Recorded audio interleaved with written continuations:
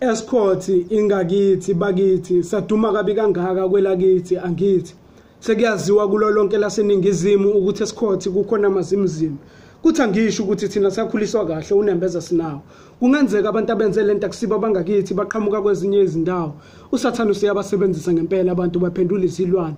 Umuntu onjani odla omunye umuntu leso isihluku. Abalisa thizeni bathole nezabantu izicubu ukwazi kwabuhlungu. Kuyasola nasemqondweni abaphilanga. Kwaleyo nyanga edlale ngabantu ithi yabelapha kanti iyabulala. Nasebenza nabo abakulungele ukuphila. Sengathi inkantolo ingabanika isigwebo esibafanele ngoba sisabafuni ngaphakathi kuthina.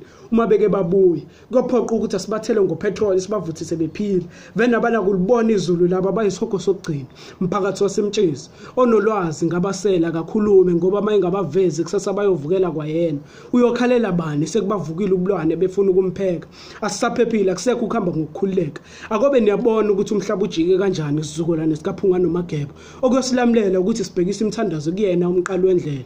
Abadli babantu befele emajele vele ikona esingathi kuyabafanele untando masibu